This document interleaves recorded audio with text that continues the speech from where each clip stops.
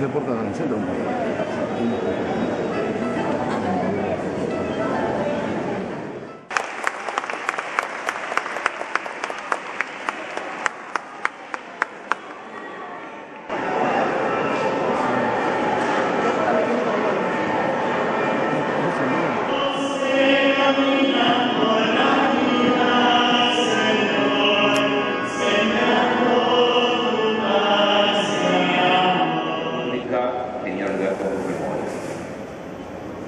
Que nuestra oración llegue a la presencia de Dios y le obtenga pues la salud física y espiritual que necesita.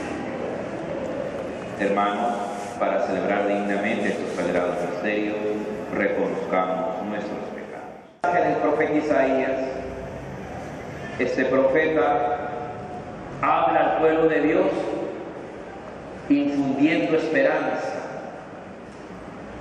infundiendo ánimo, fortaleza a un pueblo que sufre el destierro, la persecución, el aparente abandono de Dios, el aparente.